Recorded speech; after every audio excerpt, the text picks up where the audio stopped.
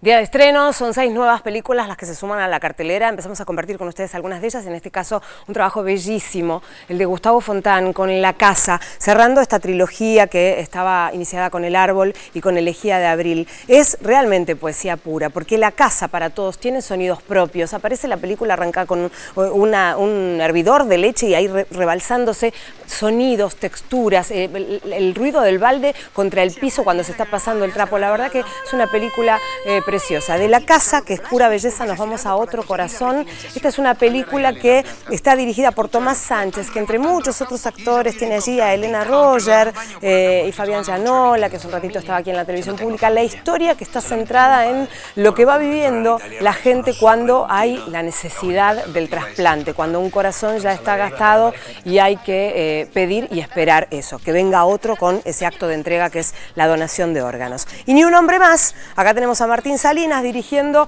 las sólidas actuaciones de Martín Piroyansky, Valeria Bertuccelli, Luis Siembroski, Juan Minujín, que está allí también al principio en una escena tremenda, un secuestro que sale mal en plena selva misionera con mucho calor. Ni un hombre más la recomendamos, es uno de los estrenos argentinos de hoy.